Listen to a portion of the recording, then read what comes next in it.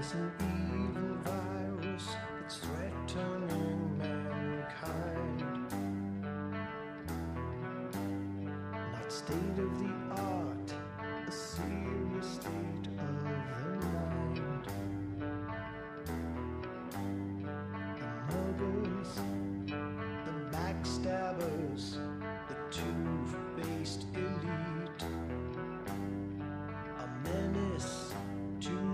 society, a social disease.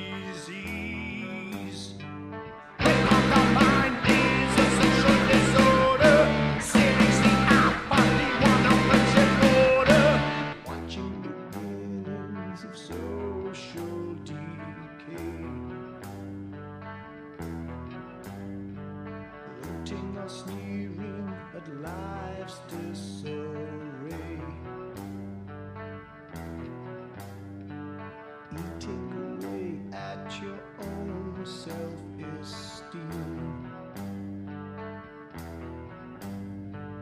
Pouncing on every word that you might be saying.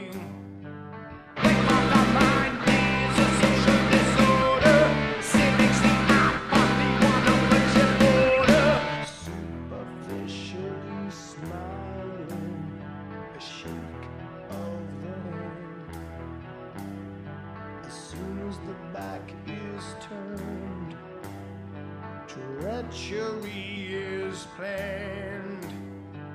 With Social Disorder. S makes me out on a border Watching again as social decay.